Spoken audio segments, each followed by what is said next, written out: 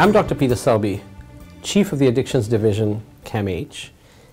Welcome to the Clinical Practice Tips. In this series, we will focus on effective tapering strategies for prescription opioids.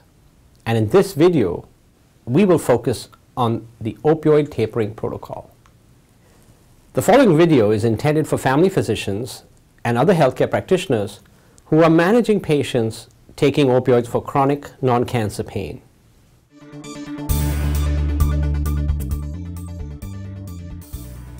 So let's take a look at this protocol a little bit more closely.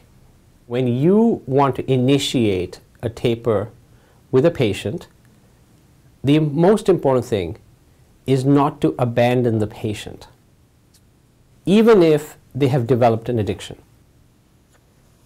Before you initiate the taper, it is important to establish the goals.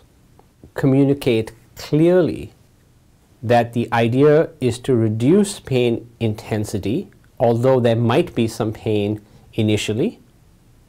The idea is to improve the person's mood. And most importantly, the idea is to improve day-to-day functioning.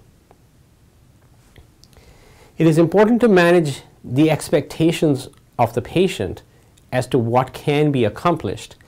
And it is often best to frame this as a trial taper with a clear exit strategy as to what will be done if the taper does not work.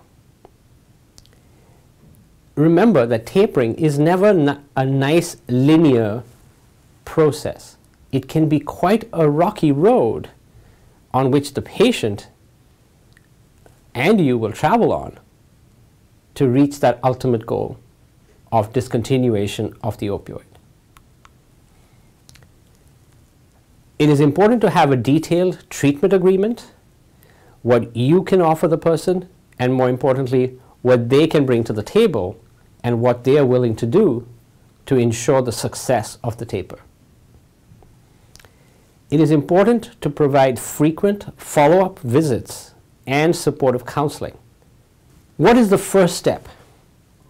If this person is not addicted to morphine, and they're using another opioid, whether it's oxycodone or fentanyl, consider switching the patient to morphine, especially if the patient is dependent on oxycodone or hydromorphone.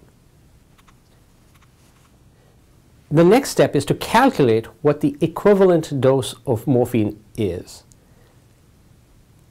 Start the patient on 50 to 60% of this dose and the reason we say this is that the cross tolerance between opioids is not complete.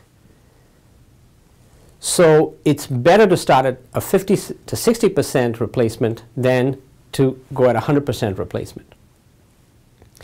Thereafter, adjust the dose up or down as necessary to relieve withdrawal symptoms without inducing sedation.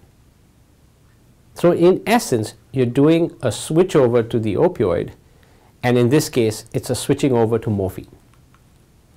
The oral opioid analgesic conversion table is used because we want to have a consistent way in which practitioners make this calculation. When you're doing a conversion between fentanyl and morphine, it is a little bit more tricky because as you know, the fentanyl is prescribed as a patch that is used every three days. So therefore, the conversions to daily dosing of morphine is a bit more complicated and this table helps you make that calculation in a way that makes it safe for the transfer of somebody from fentanyl to morphine. As part of the new guidelines, Dr. Andrea Furlan has developed an enabler for your practice, and this is known as the opioid manager. And as part of the opioid manager, there is a worksheet that you can use to help you do that calculation so that you can safely switch somebody's opioid. For example, let's walk through this calculation. A patient is taking oxycodone 40 milligrams three times a day. This works out to a total dose of 120 milligrams a day. To calculate the morphine equivalent dose, look up the table, the conversion factor is 1.5, and this becomes 180 milligrams of morphine equivalent uh, doses a day. Within moderate range, therefore, the starting dose is 60%, and therefore you give 108 milligrams of morphine per day, but in divided doses. In deciding how you will prescribe that morphine, it is ideal to use controlled release morphine if feasible. More importantly, prescribe scheduled doses based on time and not in response to the appearance of pain. Also prescribe at frequent dispensing intervals, daily, alternate days, weekly, depending on the patient's degree of control over their opioid use. More importantly, be clear with the patient that there will be no refills should the patient lose the prescription or run out early. More importantly is try to keep the same daily schedule for the patient. So for example, if they were taking their prescription three times a day, then keep it for three times a day as long as is possible before you go to a twice a day schedule of the controlled release morphine. How quickly should you taper? Generally, the rate of taper can vary from a, approximately 10% of the total daily dose per day to 10% of the total daily dose every one to two weeks. This is a negotiated rate of taper taking into consideration patient factors such as their readiness, such as what else is going on in their lives, as well as the feasibility of other healthcare providers to assist you in this taper. Slower tapers are indicated for people who are anxious about the taper, are psychologically dependent on opioids, or have comorbid cardiorespiratory conditions, or have simply expressed a preference to a slow, for a slow taper. Once you have reached one third of the original dose that they started with, start slowing down the rate of taper to about half the previous rate. This is because as the dose goes lower, people become more sensitive to any dose reductions. Hold the dose when appropriate. Sometimes you have to hold the dose or even increase the dose if the patient experiences severe withdrawal symptoms a significant worsening of pain or mood, or reduced function during the taper. It is important to monitor the patient while they are being tapered. Now this can happen by the prescriber or by the dispenser as long as there's good communication between both the prescriber and the dispenser of this medication. Therefore, schedule frequent visits during the taper.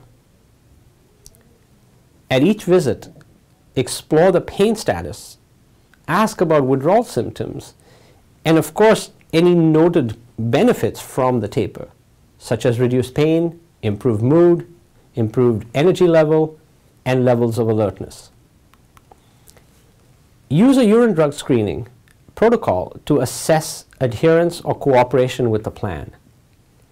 For example, if you notice you've been tapering somebody using morphine, but their urine toxicology screen still shows marijuana or shows other opioids, then you have an indication that the taper is not going as planned. And therefore you have to reassess as to whether a taper is indicated or you need to step it up to detoxification or withdrawal in a withdrawal center or even substitution with an agonist treatment. Another way to know whether the person has control over their medication is to prescribe 10 days worth of medication and see the patient again within seven days. At that point, ask them to bring back the unused medications and do a pill count. Very quickly, you will know whether this person is able or is following the prescribed regimen for their taper. When you do this, make sure that at any given point in time, you do not allow the patient to amass more than three days worth of medication per prescription. I suggest that you tailor according to the patient's stability. It is important to involve the patient in the tracking of the taper. This boosts their feeling of empowerment and also to get an accurate picture of the setbacks they might experience while undergoing the taper. As part of a good therapeutic relationship, it is important to communicate to the patient that they can let you know when the taper is not going well. What you don't want them to do is hide it from you and only for you to discover it at a later date. Involve the patient in tracking the taper to boost feelings of empowerment and to get an accurate picture of the setbacks they might experience. Finally, completing the taper. Tapers can usually be completed between two to three weeks or as long as three to four months. Even in patients who are unable to complete the taper, it might be feasible to maintain them at a lower dose if you've got observed improvements in their mood or levels of functioning and they've been following the treatment agreement. This slide just demonstrates the opioid manager as an overall way to manage chronic non-cancer pain. Within this opioid manager, you will find a quick guide on how to stop the essentials. And in essence, this summarizes what we talked about today. This opioid manager is available on the National Pain Center website and is also available for EMR platforms. They have also developed apps for Android and Apple products.